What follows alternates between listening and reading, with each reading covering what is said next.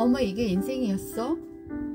인생은 잠깐 즐기는 산책인 줄 알았는데 미처 준비되지 못한 채 달리는 마라톤과 같았다. 나는 예쁜 꽃길을 걷고 싶었는데 지름길이 준비되어 있었고 나는 맑은 파란 하늘을 바라보고 싶었는데 먹자한 구름이 가득한 하늘이 보였다. 나는 건강하게 뛰어놀고 싶었는데 여기저기 아픈 곳이 생겨서 수술을 하게 되었고 그것도 여러 번 하게 되었다. 나는 안전하게 살 줄 알았는데 차에도 부딪히고 오토바이도 부딪히는 사고들이 내 삶에 줄줄이 일어났다. 나는 좋은 사람들이 내 주변에 가득할 줄 알았는데 나는 세 번의 상해를 당했다. 그리고 전 재산을 날릴 뻔한 위기에 직면하기도 했다. 나는 열심히 일하면 삶이 풍요로울 줄 알았는데 삶이 여전히 궁핍했고 재정적으로 어려운 일들이 많았다. 나는 사람들을 묻지도 않고 따지지도 않고 도와주면 내 삶의 어려운 순간에 많은 도움들이 사방으로 올 줄 알았는데 나를 도와주는 손길을 하나도 잊지 않았다.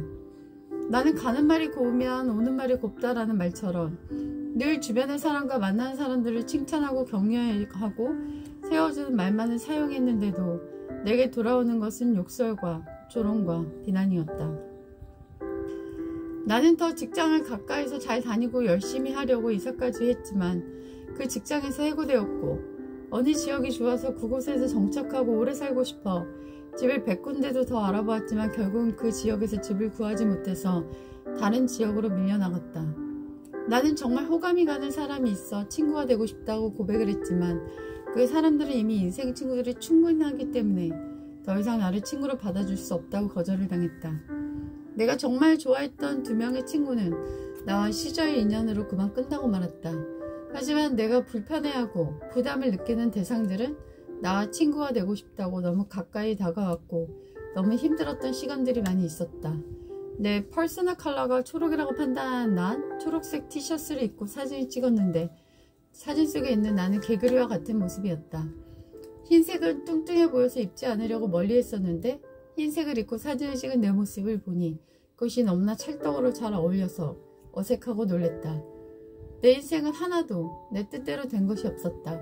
하지만 짧지 않은 인생을 살아보고 뒤돌아보니 이렇게 되어진 것이 너무나 다행이고 너무나 감사하고 너무나 행복하다라는 것을 느낀다. 내 뜻대로 되어지지 않는 것이 인생의 행복일 줄은 몰랐다. 안 좋은 일이 굉장히 많이 일어나는데 그것이 왜 행복하냐고? 그건 그런 일들을 통해서 내 마음은 내려갈 수 있고 삶으로 바라보는 나의 시각이 완전히 달라질 수 있기 때문이다. 나보다 많은 것을 갖고도 나보다 못한 삶을 산 사람도 있고 나보다 적은 것을 갖고도 나보다 나은 삶을 산 사람도 있다. 환경은 중요하지 않다. 환경을 해석하는 시각이 더욱 중요할 뿐이다. 분위기가 밥, 먹, 밥 먹여줘. 오랜만에 외식을 했는데 바깥 고기를 먹어 배가 아팠다. 그래서 인터넷으로 고기를 시켜 집에서 해 먹었는데도 배가 안 아프고 양도 많고 가격도 싸고 푸짐해서 너무나 좋았다. 이렇게 깨끗하게 안전하게 편안하게 만들어 먹을 수 있는 것을 우리는 왜 식당에 가서 3배 이상의 가격을 내고 외식을 한 걸까? 너무나 후회 막심이었다. 그동안 우리가 너무 호구로 산 게 아닐까 하는 생각이 들 정도였다. 반쪽은 그래도 밖에서 외식하는 것이 분위기가 있잖아 라고 이야기를 해주었다. 하지만 그 안에서 고기 굽는 냄새와 연기 때문에 바람 물질이 가득한 것을 느꼈고 환기도 시키지 않고 있었다. 과연 건강에 좋은 음식일까? 분위기 때문에 건강을 포기해야 하는 걸까? 라는 생각이 지나가는 외식이었다. 내가 오징어 볶음이 먹고 싶다고 하지 하자 반쪽이 오징어를 공수해 와서 오징어 볶음을 해주었는데 오징어 볶음 소스를 시판용을 가지고 볶아서 만들어 주었는데 맛이 정말 좋았던 반쪽은 아 식당들 다 이렇게 하는 거 아닐까? 이런 말까지 하는 것을 들었다. 식당이 2분의 1도 안 되는 가격이었고 양도 푸짐했다. 난 시판을 안 쓰려고 하지만 가끔 단맛이 사무치면 눈 감아준다. 나는 오늘 겨우 50분을 외출했고 24시간 중에 23시간을 집에 있었다. 내 집은 식당이고 내 집은 휴식처이고 내 집은 놀이공간이 되어주었다. 나는 음식의 소중함을 매번 절절히 느끼고 있다. 음식을 잘 챙겨 먹으면 질병들이 사라지고 컨디션이 좋아지고 면역력이 좋아지는 것을 느꼈다. 선풍기를 틀고 자서 목이 너무 아파서 병원에 가서 코로나 검사를 받았는데 다행히 코로나에 걸리지 않았다고 했다. 나는 좋은 음식을 챙겨 먹음으로 인해서 질병에 걸리지 않고 컨디션이 좋게 생활하려고 애쓰고 있다. 우리나라는 좋은 식재료도 많고 택배 문화가 굉장히 발달되어서 오늘 시키면 내일 올 수 있는 뛰어난 시스템을 가지고 있다. 그렇기 때문에 가정에서 좋은 요리법만 공부한다면 우리 모두 건강하게 만들어서 질병 없이 면역력을 가꾸면서 생활할 수 있다. 나는 외식하지 않고 그 돈으로 좋은 식재료를 사서 건강하고 깨끗하게 음식을 만들어 먹는 것이 정말 좋다. 내일 오시길 기다리겠습니다.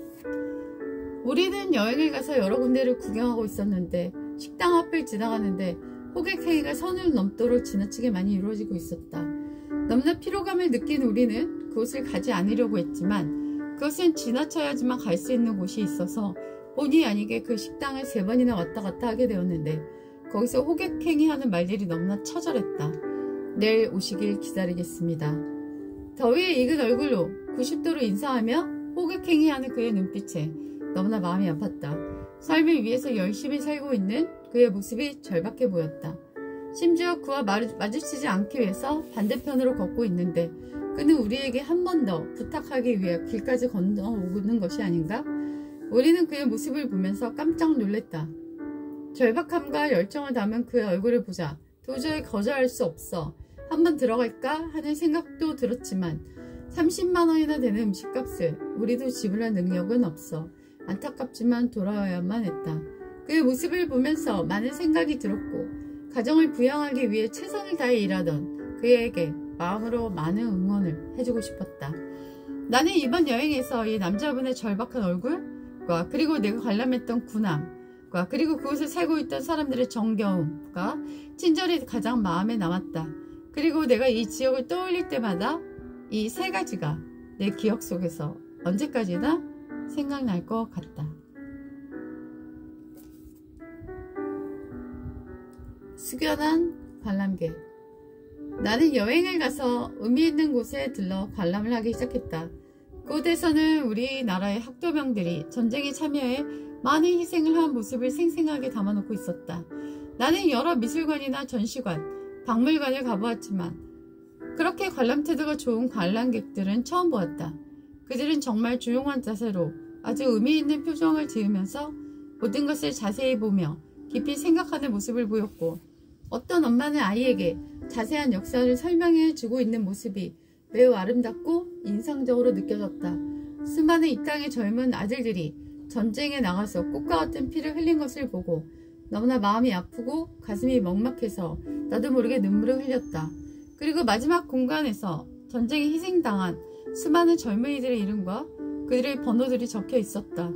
그들의 이름들을 대할 때 나도 모르게 여러 가지 감정이 들어와서 매우 마음이 힘들었고 거기 관람하는 사람들도 굉장히 진지한 표정으로 하나하나를 들여다보고 있는 것을 보았는데 정말 그들은 숙연한 모습은 우리 모두가 한 마음으로 느낄 수 있는 우리 땅 청년들의 비장미를 느껴서 괴로운 표정들이었다. 실제로 전쟁에 참여했던 전함이 전시회장으로 탈바꿈되어 역사를 가르치고 있는 모습이 매우 인상적이었고 가족 단위로 와서 보고 진지하게 생각하며 역사를 공부하는 그 시간이 어떤 교육의 순간보다도 소중한 교육이 되어줄 수 있을 거라는 마음이 들었다.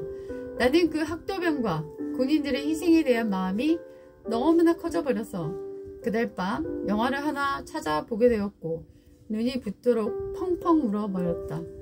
우리는 그들의 엄청난 희생으로 이와 같은 평화를 유지하고 있지만 우린 아직도 전쟁에 해방된 국가라 볼 수 없는 긴장된 나라에 살고 있다는 것을 잊어서는 안 된다. 그리고 어느 어디를 가든지 군인들을 존경하며 감사해야 할 것이다. 여행은 단순히 놀고 먹고 즐기는 시간이 아닐 것이다. 보다 의미 있는 것을 배우고 체험하고 생각하는 것이 여행 안에 당기면 더 좋지 않을까 하는 마음이 많이 드는 시간이었다.